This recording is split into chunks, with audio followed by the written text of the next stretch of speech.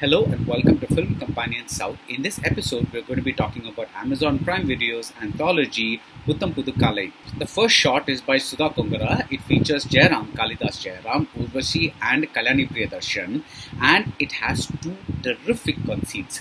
One is the fact that love makes us feel younger look younger. I don't want to reveal too much about it, but there's a reason for this casting, and there's a reason this uh, shot is called Idamai Dodo. So this is a beautiful thing that happens here. And the second thing is that the couple in this film decide to watch Alaipayuthey, and like the Madhavan and Shalini characters in the film, the longer the relationship grows, the longer their relationship together grows, the more they get into the bickering mode. So that's another thing that's really nice about this shot. But otherwise, the short falls under the general mood of this anthology, which is pleasant but generic.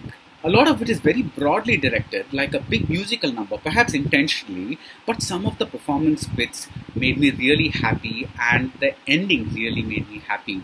Uh, when I talk about the performance bits, I'm talking about, let's say, the look on Kalidas Jayaram's face when the girl he loves walks into his room or the look on or the expression on Urvashi as she says perfect when somebody asks her how the cup of tea is. Almost all the shots feature a moment or two that are just perfect like the look of vulnerability on Shruti Haasan's face when she talks to her mother in Coffee Anyone which is the shot directed by Suhasini Maniratnam. She plays Shruti's uh, older sister and Anu Hasan plays the middle sister.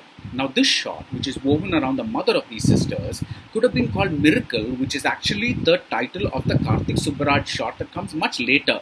And the central conceit here is that every one of these sisters, each one of these sisters, has a brush with motherhood in some shape or form, perhaps in the form of a pregnancy or maybe in the form of a child who's not doing well. But there's too much articulation in the form of dialogues. You hear more than you actually feel, and the feel again of the shot is pleasant but generic. Rajiv Menon's reunion is about two classmates played by Andrea Jeremiah and Sikkil Gurucharan. And uh, the bit that I loved here, the moment that I loved here, is when a drug addict describes why she became a drug addict because my dreams were too big. You know, there's real poetry in this line, and it really suits the character who is a pop singer writer. There's another beautiful glimpse into the inside of a person when a wife, played by the always lovely Leela Samson, talks about her workaholic husband, but then adds in the end, but for 35 years he took really good care of me.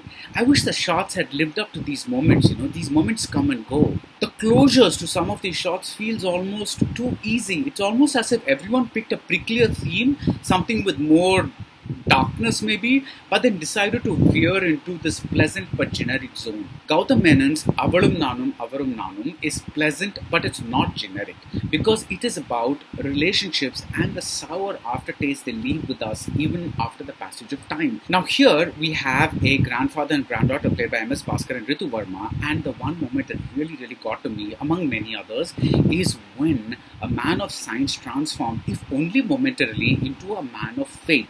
You know a great surge of emotion can do that to you sometimes. Karthik Subbaraj's Miracle is the final shot and it's the Leta Vandalum, latest Vandalum of the punch. Now, after four elegantly mounted shots uh, featuring upper class people, white collar job people, it's a bit of a relief to come to this milieu, these low life milieu, with two lowly conmen. The title, Miracle, justifies itself with this director's trademark twist and the two lowlife, the conmen, played by Bobby Simha and Muthukumar, they plan something. It's a kind of a heist. I'm not going to tell you much about it, but there's real swagger here from the writing to the filming to the brassy music and the way the godman who triggers the proceedings is actually incorporated into the story. He kind of loops back in maybe the slyest joke of all. I wonder if karthik's background with short films made him make the best use of his time you know and, and know where to land the punches exactly.